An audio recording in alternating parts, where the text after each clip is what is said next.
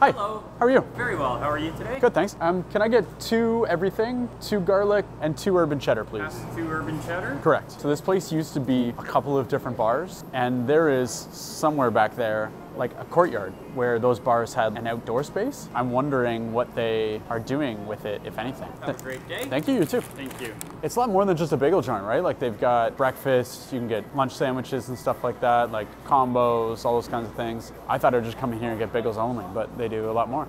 Who knew?